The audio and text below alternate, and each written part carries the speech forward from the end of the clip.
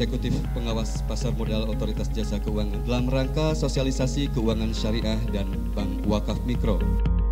Tujuan penyelenggaraan sosialisasi ini sebagai bentuk upaya kami untuk terus mendorong pengembangan industri keuangan syariah nasional di lingkungan pesantren Baitur Rahman ini semenjak 10 Oktober 2017 telah berdiri salah satu lembaga keuangan syariah yang memiliki fokus dalam pemberdayaan ekonomi umat. Untuk itu kami juga mengharapkan agar Bank Wakaf Mikro Berkah bersama dapat terus meningkatkan perannya untuk memperbanyak pelayanan ke masyarakat miskin produktif sehingga dapat makin dirasakan manfaatnya oleh masyarakat sekitar.